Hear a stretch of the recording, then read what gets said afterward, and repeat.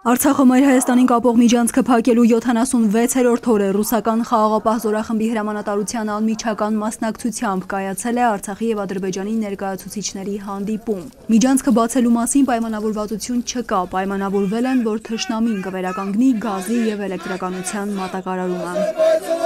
Հագայի դատարանի որոշումն արհամարելու եւ միջանցքը չբացելու ֆոնին ՄԱԿ-ի գլխավոր քարտուղարն է հիշեցնում բոլորին, որ այդ որոշումը պետք է կատարել։ ՄԱԿ-ի գլխավոր քարտուղարը նշում է, որ Արդարադատության միջազգային դատարանի որոշումները կատարելը պարտադիր է եւ կարծում է, որ կողմերը կկատարեն դրանք։ Նաեւ Լաչինի միջանցքով մարդկանց տրանսպորտային միջոցների եւ ապրանքների անարգել տեղաշարժի ապահովման որոշումը։ ԵԱՀԿ խորհրդարանական վեհաժողովում եվրոպական երկրների падգամավորները Ադրբեջանին կոչ են արել դադարեցնել միջանցքի արգելափակումը, ինչին ի պատասխան ադրբեջանցի падգամավորները հայտարարել են, թե այս երկու ամսում Կարմիր խաչի ու խաղապահների հարյուրավոր մեքենաներ են անցել, հետևաբար միջանցքը փակ չէ։ Վեհաժողովում ելույթ է ունեցել Հայաստանի պատվիրակության ղեկավարը, ԿՊ-ական падգամավոր Սարգիս Խանդանյանը։ Armenia stands ready to advance the peace process with Azerbaijan with Հայաստանը պատրաստ է առաջ մղել Ադրբեջանի հետ խաղաղության հաստատման գործընթացը միմյանց տարածքային ամբողջականության եւ ինքնիշխանության փոխադարձ ճանաչման հիմքով։ Հայաստանը տարածքային պահանջներ չունի ոչ Ադրբեջանի, ոչ էլ իր հարևաններից որևէ մեկի նկատմամբ։ Լեռնային Ղարաբաղի հարցը վերաբերում է Լեռնային Ղարաբաղի հայերի իրավունքներին ու անվտանգությանը եւ այն պետք է լուծվի Բաքվի եւ Լեռնային Ղարաբաղի միջև